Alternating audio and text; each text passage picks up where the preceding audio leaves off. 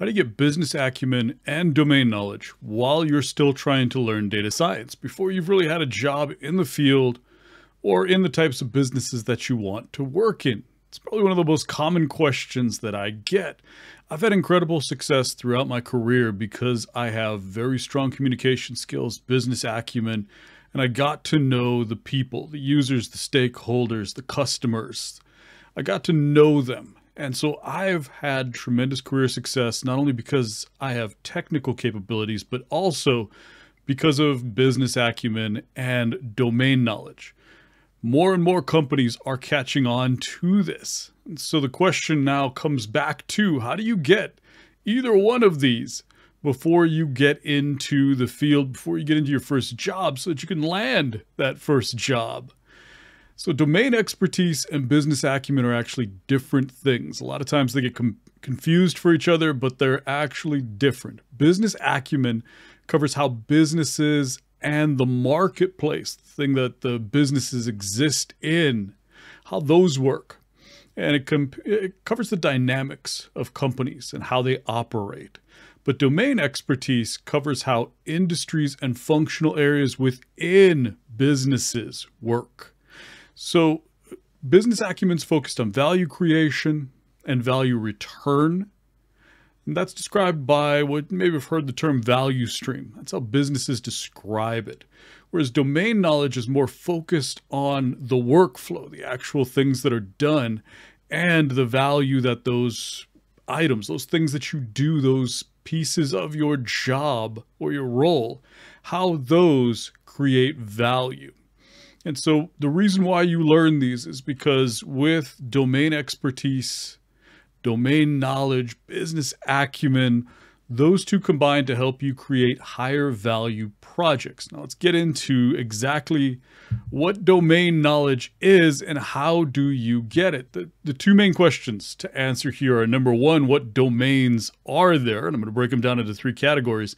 And then how do you choose a domain? And that has everything to do with the three categories. So the first one to look at is AI maturity. And uh, what I'm pulling these from is various surveys done by companies like Accenture and IBM, where they talk to senior leaders, they talk to people who are data leaders and ask, you know, what's the level of maturity in your company? What use cases are you focusing on? And so on. So the first area we're going to cover is AI maturity. And the most mature industries are technology, things like Google, Facebook, uh, you know, the, the industries and companies that you would expect, automotive, aerospace and defense, life sciences, natural resources, things like mining, retail, utilities, manufacturing, and industry in general. And then finally, banking and finance. Those are the most mature.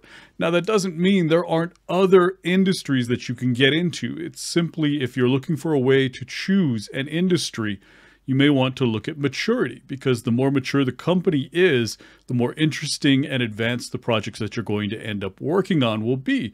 But industries like healthcare, they're getting into data science and machine learning or AI just as heavily as some of the others are.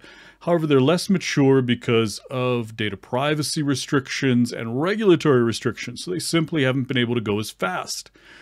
Gaming, if you like video games, they definitely use data science, machine learning, but their use cases right now are fairly limited. Uh, as soon as the metaverse becomes more of a thing, more of an actual instead of a buzzword, you're going to see increasing numbers of use cases in gaming over the next three to five years.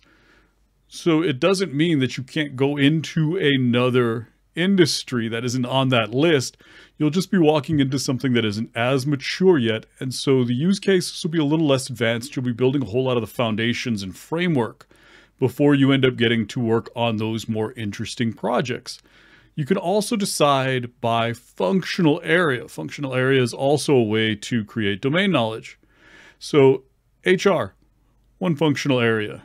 Uh, customer service, customer support, manufacturing, IT and information security, supply chain, marketing, marketing is huge, sales, the other side of marketing, finance, and legal. Those are all functional areas within the business, and each one of them has a high level of focus or some very interesting high value use cases for data science and machine learning. Then let's get to use cases. That is the third way that you can sort of select a domain is based on use case. IT operations, hardware, network, and software management, all of that. Huge, huge area of focus. Probably the number one area of focus in data science and machine learning right now. Fraud detection, customer care, customer service type experiences, uh, business workflow automation and process automation, process discovery, uh, inventory management, supply chain efficiency, anything that's workforce automation or digitizing work, digital workers, that's very, very big right now. Uh, monitoring and control of things like smart meters or physical structure like buildings and maintenance type monitoring, asset utilization and optimization of asset utilization, your transportation, route optimization, wearables uh, using for training or wearables for maintenance. You can actually use wearables in VR and augmented reality to train your workforce to do particular tasks. That's a compelling and emerging use case. Uh, sensor-based manufacturing or IoT industry of you know Internet of Things, excuse me, autonomous vehicles, drones. That's a very big use case. Contract management, contract review, and then finally again fraud detection. So any one of those is going to be a those are good places to get domain expertise. But again, just remember, because I didn't mention it doesn't mean you can't go in that direction. But if you're looking for a way to select something, these are great starting points for you. You know, if you're just kind of like, I, I don't know what to do, pick one of those three categories and pick something that sounds interesting to you. Um, so how do you learn? How do you start learning this stuff? Well, the first thing you can do is set up a Google alert. I kid you not. It could be just as simple as putting in the name, you know, like fraud detection, machine learning, and you set up a Google alert on that. What Google Alerts does is it goes through all the content, finds some of the best content around your particular search string, your search term, which again, it's the domain, whether that's an industry, whether that's a functional area, or whether that's a use case, and the word machine learning. What that's going to do is give you industry publications. It's going to give you content. And if you read maybe one, two articles a day from the email that Google sends you, you're going to start understanding the language, the vernacular that people use in that particular domain. Most of the articles that you're going to get are kind of eh, questionable, but you're not really learning from the content. You're learning from the concepts. You're learning the ideas, the things that people in that area who are not technical are most interested in and what they're talking about. You'll learn new key terms. You'll learn to really look at look at that domain from a different non-technical perspective, from the user perspective, from the senior leadership perspective, from the value perspective. You'll learn about use cases that are on top of mind for that domain. And then you get to the other side. You want to start doing the technical knowledge. And you can get that in two ways. The first one is going to arXiv and just look at Google basically that domain, or not Google, excuse me, search for that domain on arXiv. You're going to get technical papers, and papers with code is another good one where you just basically in that search bar put your domain, and you're going to get the technical papers that are written about solving problems within that domain. And if all you do is read the abstract and the conclusion, you'll get an idea of which machine learning approaches are being used, what are the biggest challenges facing people, data scientists, data professionals in that field? And how are those challenges being addressed? What type of research areas are most promising? So you'll have an understanding of where to focus your data science and machine learning education from a technical standpoint to support your capability to solve some of those problems that are confronting the space. The other thing to look at is software vendors. So any software vendors that are major players in that space for your domain applications, for those use cases that are associated with either the industry, the functional area, or if you're just going to target a use case, you really look at that use case across industries because a use case can it, can be applicable across multiple different industries. And so you're looking for software vendors who provide solutions to your particular domain. And they are also going to be an excellent source of information and domain, uh, domain knowledge because they're going to be writing blog posts about how their product solves problems in this space. So you'll get some great domain knowledge there, but you're also going to understand their products and the features that they offer. Because again, that's the other side, the more technical side of providing solutions to some of the problems that are facing the domain that you're looking to go into. So that is how you're going to end up learning more about the domain. But how about business acumen? Business acumen covers four main areas. You've got business strategy, business management, economics, and communications. Those are your four main areas. You could definitely go deeper and you can go in different directions, but I would say that if you're going to pick four main categories, those would be the one, the ones.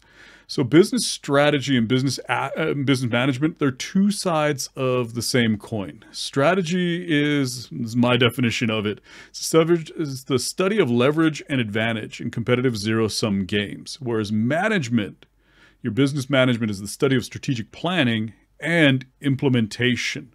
And so basically those are the concepts of value creation and value return. That's what you learn when you study business strategy and business management. You learn about how a business creates products, why it creates products, why it has this particular business model. Why does it have its particular operating model? Why does it pick a technology model? So what is each one of those? What is a business model? Business model is a statement of value creation. It just talks about what the business monetizes. How does it make money? Why does it make money that way? Your operating model is more specific. Your business models are fairly generic and you can look at 15, 20 different business models, businesses, and you can say, okay, these fall into this particular category of business model. So those are kind of genericized across businesses, whereas operating models are more specific to the individual business. It's tailored to that business, to the talent, to the customer base, to the product. To, you know, there's so much more specificity to an operating model than there is really to a business model. And the operating model explains how the business creates value. Just how does it build that product? How does it operate as efficiently as possible? And then finally, your technology model explains how the business leverages technology to build value. Why, why does it use the technologies that it does as part of the business value creation process? And you can think of the operating model as sort of your manual and your human side of the value creation of your value stream. And you can think of the technology model as the digital side of value creation of your value stream. Now, economics is the next piece of uh, your business acumen puzzle. You have macro factors that you have to learn, micro factors. If you've heard of macroeconomics, microeconomics, that's exactly what those two are. And then finally, competitive strategy and competitive forces. Those are your key areas. There are tons of classes out there that can teach them to you. Communications is your final area. The main areas to learn with communications are communications objectives. You speak for purpose. What is that purpose? What are your objectives? Communications discipline, staying on purpose, staying on track, creating these high level frameworks so that you can achieve your communication objectives without getting derailed, without getting distracted. Communications for impact and persuasion. Remember, the reason why we communicate is to give knowledge and receive knowledge. But there are outcomes, business outcomes that are expected from every interaction, every engagement. And so that is for impact and persuasion. And then finally, facilitating communications in a group setting. Sometimes you're not just talking to people and listening to people. You're getting people to talk and you're getting people to listen. So that's facilitating communications in a group. Now, anytime you look at business acumen, the higher level classes that you can take in college or really online anywhere, they're going to teach a very broad and generalized approach to each one of these. And so classes, online courses, books, those are all valid ways of learning business acumen but they're not going to be tailored specifically to your job and what you do. Now, there are people like me who create classes specifically for data professionals. That is a more targeted approach. And obviously, I make those make those courses sound a little biased about going in this direction for your education, but it's not the only way to do it. You can also, through internships, take the opportunity to talk to people in the business, talk to people in external business units, talk to senior leaders, talk to stakeholders, and ask them about what they do. Begin to understand their job, their expectations for data, their expectations for models. What are they looking for you to provide to them value wise? Most people, when they get an internship, they focus completely on the technology side and they forget they have this opportunity to understand the domain, to understand the business itself and how the business functions. And so definitely take advantage of those on the job opportunities. Conferences are another amazing opportunity to get some business acumen and domain knowledge. You go to a conference, you're going to hear speakers talk about how the business operates with respect to your particular domain. In many cases, they'll begin to talk about applications of software.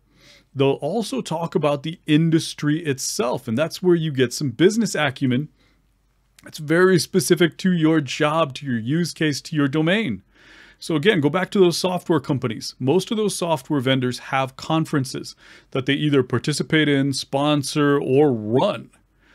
Each one of those is an opportunity. If you can get to go to one or two of these conferences a year, you're going to get that domain knowledge and some business acumen.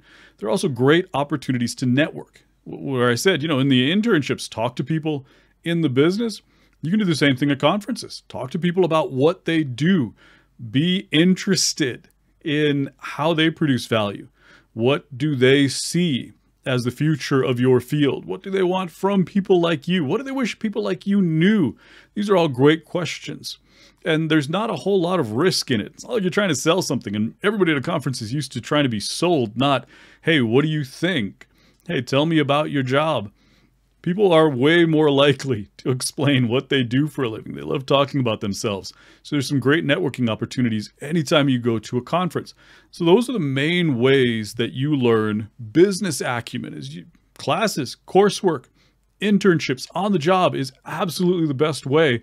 And then finally, you can look at courses that are specific to business acumen for data professionals. Those are going to be your most effective coursework approach. But Remember, on the job or interacting with people who do work in that domain, whether it's data professionals or people who are frontline workers or senior leaders or stakeholders in that area that you're interested in, they're also going to give you insights into business acumen and how the business, at least that side, that domain functions. So again, that's very targeted domain knowledge and business acumen being delivered in those conferences through talks. And if you can find a conference that has, you know, those hands-on sessions, those are absolutely amazing.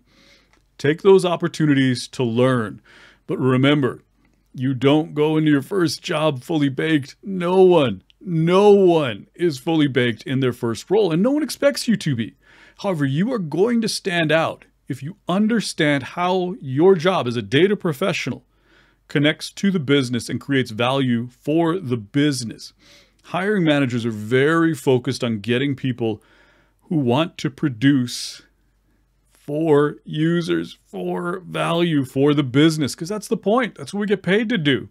And so many data scientists come out of school, come out of boot camps or whatever sort of educational curriculum without a focus or an understanding of the business, without really knowing how to put it together, how to take capabilities and create value, how to solve business problems. That's what business acumen and domain expertise does. It allows you to showcase that you're not just technically capable, you are capable of creating value with your technical capabilities. That's why it's so critical and why it'll make you stand out from everyone else. But again, remember, the goal is not perfection. The goal is to be able to apply your capabilities to high value use cases. Don't worry about becoming a domain expert or a business expert. That'll come over time.